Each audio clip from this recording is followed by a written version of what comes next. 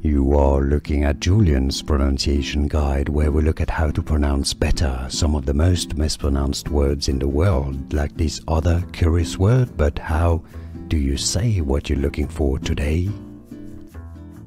How do you say this word?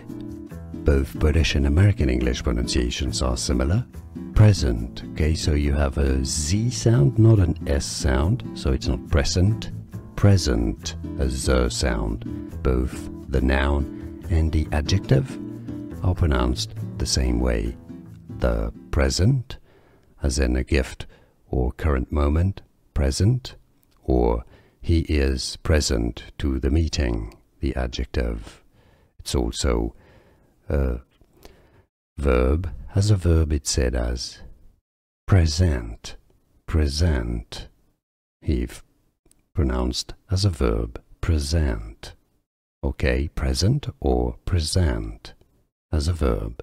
And now you know. Here are more videos on how to pronounce more confusing words and names too many mispronounced. Like this video if you found it useful, I appreciate your support. I'll see you soon and thanks for watching.